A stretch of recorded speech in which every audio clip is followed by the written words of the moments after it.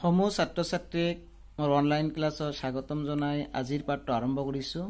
ছাত্ৰ ছাত্ৰীসকল আজি দশম শ্ৰেণীৰ সমাজ বিজ্ঞান আৰু দ্বাদশ শ্ৰেণী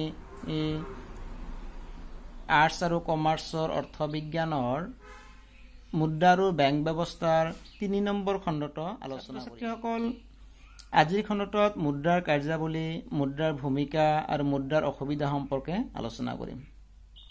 ছাত্ৰ ছাত্ৰীসকল আমি যোৱা ক্লাছসমূহত আলোচনা কৰিছিলোঁ মুদ্ৰা এদিন বা দুদিনতে সৃষ্টি হোৱা নাছিল। মুদ্ৰা সৃষ্টি হওঁতে কেইবাটাও পৰ্যায় বা বিভিন্ন সময় পাৰ হৈ আহিব লগা হৈছিল। আজি আমি আলোচনা কৰোঁ মুদ্ৰা বাৰু কি কি কাম কৰে। যে মুদ্ৰাৰ কাৰ্যাৱলী সম্পৰ্কে ইংৰাজীত এষাৰ কথা আছে money is a matter of function for a medium a measure a standard and a store অৰ্থাৎ মুদ্ৰাই প্ৰধানকৈ চাৰিটা কাৰ্য সম্পাদন কৰে। এই চাৰিটা কাৰ্য মই এটা এটাকৈ তোমালোকক ব্যাখ্যা কৰি দিম যে মুদ্ৰাৰ প্ৰথম আৰু প্ৰধান কাৰ্য হৈছে বিনিময়ৰ মাধ্যম। যে মুদ্ৰাৰ এটা প্ৰধান কাৰ্য হ'ল ই বিনিময়ৰ মাধ্যম হিচাপে কাৰ্য সম্পাদন কৰে। মুদ্ৰাৰ মাধ্যমেৰে সামগ্ৰীৰ বিনিময় কৰা হয়। ছাত্ৰ ছাত্ৰীসকল তোমালোক জানা সকলো সামগ্ৰী আৰু সেৱা কাৰ্য বিনিময়ৰ মাধ্যম হিচাপে মুদ্ৰাক ব্যৱহাৰ কৰা হয়। সেইকাৰণে মুদ্ৰাক বিনিময়ৰ মাধ্যম বুলিও কোৱা হয়। ক্ৰেতা এজনে বা কিনোতা এজনে এক নিৰ্দিষ্ট পৰিমাণ মুদ্ৰা প্ৰদান কৰি এক নিৰ্দিষ্ট পৰিমাণৰ বস্তু বিক্ৰেতাৰ পৰা সংগ্ৰহ কৰে। এনেদৰে বিক্ৰেতাজনেও এক নিৰ্দিষ্ট পৰিমাণৰ বস্তুৰ বিনিময়ত ক্ৰেতাৰ পৰা কি লয়? এক নিৰ্দিষ্ট পৰিমাণৰ মুদ্ৰা সংগ্ৰহ কৰি লয়। এই কাৰ্যক কি বুলি কোৱা হয়? বিনিময় বুলি কোৱা হয়। মুদ্ৰাৰ দ্বিতীয়টো কাম হৈছে মুদ্ৰাই মূল্যৰ মাপকাঠি হিচাপে কাম কৰে। যে মুদ্ৰাই সা সামগ্ৰীৰ মূল্যৰ মাপকাঠি হিচাপে কাম কৰে অৰ্থাৎ মুদ্ৰাৰ সহায়ত সামগ্ৰীৰ মূল্য নিৰ্ধাৰণ কৰা হয়। ছাত্ৰ ছাত্ৰীসকল মুদ্ৰাৰ মাধ্যমেৰে সকলো সামগ্ৰী আৰু সেৱা কাৰ্যৰ মূল্য নিৰূপণ কৰা হয়।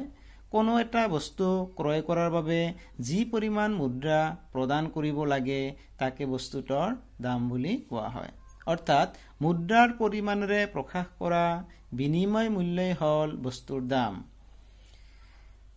আৰু সকলো বস্তুৰ মূল্য কাৰ যোগেদি প্ৰকাশ কৰা হয় মুদ্ৰাৰ যোগেদি প্ৰকাশ কৰা হয়। মুদ্ৰাৰ তৃতীয়টো কাম হৈছে মূল্যৰ ভাণ্ডাৰ। যে মুদ্ৰাৰ আন এটা কাম হ'ল মুদ্ৰাৰ মাধ্যমত সামগ্ৰী মূল্য সঞ্চয় কৰি ৰাখিব পাৰি।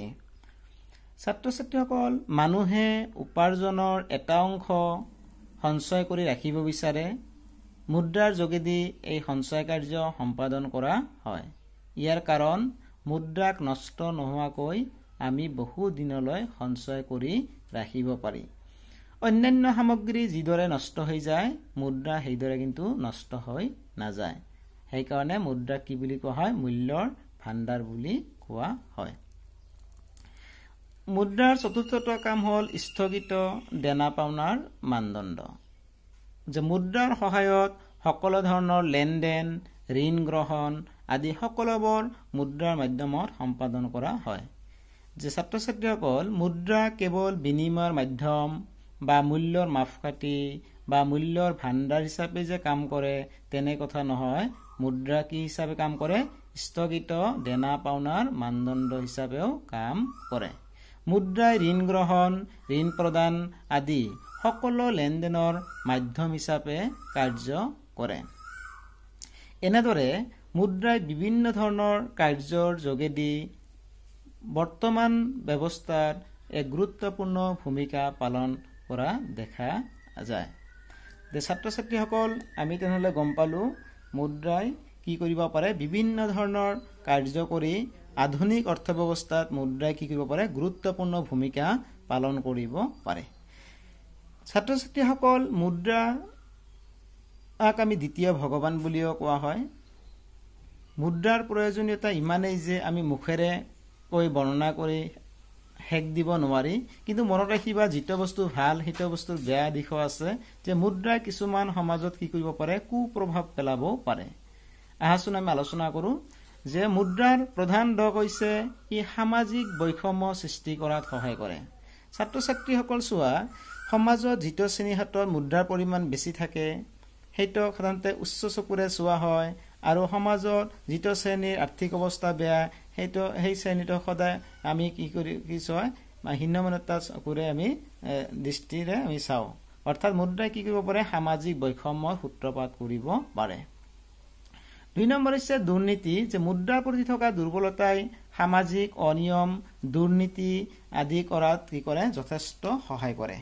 ছাত্ৰ ছাত্ৰীসকল বৰ্তমান সময়ত তোমালোকে গমে পোৱা যে মুদ্ৰাৰ কাৰণে মানুহে যিকোনো অনৈতিক কাম যিকোনো অসামাজিক কাম কৰিবলৈ কুণ্ঠাবোধ নকৰে।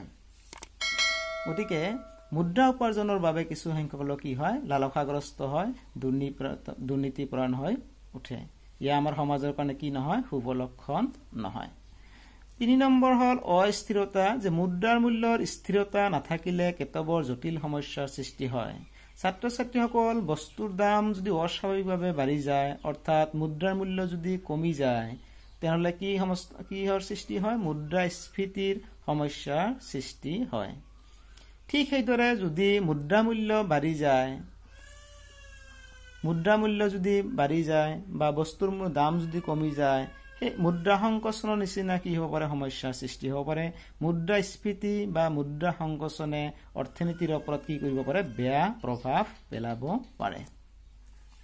আৰু চাৰি নম্বৰ হৈছে কলা মুদ্ৰা সৃষ্টি। যে মুদ্ৰাৰ আন এটা অসুবিধা হ'ল মুদ্ৰাৰ আন এটা দোষ হ'ল ই কলা মুদ্ৰাৰ সৃষ্টি কৰাত সহায় কৰে।